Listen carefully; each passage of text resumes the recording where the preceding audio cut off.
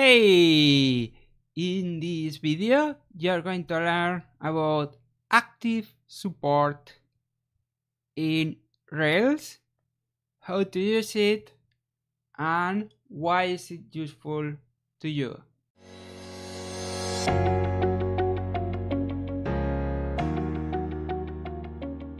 So what is active support? Well, active support is one of the components of Rails. And if you go to the site, you can find the information that we need, which is everything that's available inside active support. So the first thing we see when we click on active support is that active support is a module. So modules are typically used to put together some some methods you can include in your code to add extra functionality to it. And you can see that active support itself is made of other modules like this active support cache, active support JSON, and then it also has a few classes. Now we can expand it and look and we can click around and find out about all of these other modules and classes. But the part I find the most interesting and useful of active support is this one that says core extensions. Okay, so if we click here, we open the core extensions, you will see that we find classes like string, range, object, um, kernel, well, kernel is a module, um, file, array.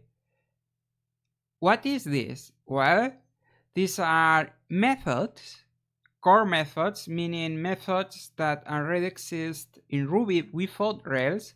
So they are part of the Ruby programming language itself. But active support adds new methods on top of the already existing methods, right? So that's what's happening here. So array by default, if I have IRB open, by default in an array we have methods like size, right? And methods like first. And these methods are part of the Ruby programming language without Rails. You don't need Rails to use these methods. But now inside Rails, since it uses active support,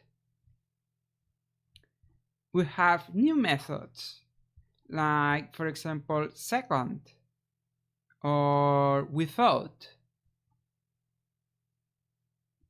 So if I try to use second here we're going to get an error. Undefined method second for array. Why? Because this method is not part of the Ruby language itself. This is part of active support. So it's part of Rails Okay, so now when you are working inside a Rails application, you can use the second method and it will work. Of course, there are other methods like these benchmark methods, which can be useful if you want to time how long it, how long it takes to do something, and some other methods like this numeric days, bytes, gigabytes, hours, in milliseconds, weeks. All of these methods are part of active support. And if you want to find out what methods are available, just come to this site and click on core extensions and go to the corresponding class. Or you can also search in here by typing the method name. Now, let's see how you can use active support by itself. What I mean by that? Well, active support is a Ruby gem, so you don't need Rails to use active support. Some people might not know that, but I find it can be useful if you want to use features of Rails outside, outside of Rails. Here is how we can require active support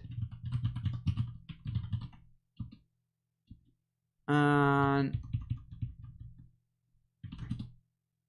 like this so you need the underscore so it's active underscore support but just doing that it doesn't require all of these extensions these extra new methods. So to add that we need to say require active support core extensions like this core ext. Where do i get this? Well if we look here says core underscore ext so that's where that comes from and now what i have to say is what class I want to extend, one, what class I want to add these methods to. So for example, we can do array. And now I can get an array like one, two, three. And of course I can do first, but I can also do second, which we couldn't do before. And now we can do this because I include these methods from active support and this is not a Rails project. I'm just inside a regular Ruby session without Rails. So now we have access to this method. And also if we want access to these other methods, like the date method, we can do that. We just follow the same formula. So we do active support active support, core extensions, and then the name of the class, so numeric. And now we have access to saying things like one day, three days, and this useful if, for example, you're doing something like time now plus three days. You can do that. And that's better than you having to find out how many seconds you have in a day or something like that, right? It's more convenient. And that's why active support is so useful and helpful for you. And since we have included this, we have also access to another useful method which we format the time in a format that's more human readable like this. So we can say to format s and we can say short and then we get this format 28 of December at this time. And we can do long. And we get this other format. Right? So that's very useful. And if you go to the documentation so if we type this in here we can if we choose the right class which is below the method name you can see the different formats that are available. So we use short and we use long but you can also use long ordinal or one of these other ones or you can even create your own custom format.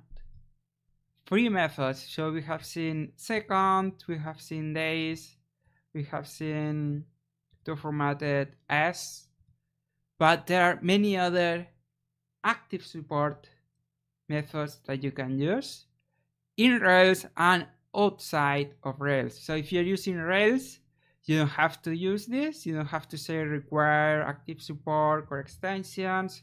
This only, only if you want to use active support outside of Rails, which is perfectly possible, as you as I just I just demonstrated. But if you're in Rails, you can just do this directly. You can do because Rails already includes active support automatically for you to make things easier for you. So you can say three days inside the Rails project. You can use this. You can use second or any other of the methods that you will find in this core extension, right? Like this deep dup, which is for duplicating objects, and all of these other methods. So that's active support. So uh, you see it's very helpful, very interesting part of Rails that can be used on its own. I hope you found this video helpful and interesting. If you did, please click the like button for me so I know that you like this video and more people will be able to find the video. Also, if you want to keep learning, watch more of my videos now and subscribe to the channel if you haven't yet so you can keep getting more videos mm. like this. And visit my website rubyguides.com rubyguides.com in there you will find over 100 free ruby articles and tutorials to help you keep improving your ruby skills and become a good ruby developer a great ruby developer. Thanks a lot for watching. Enjoy the rest of your day and i will see you in the next video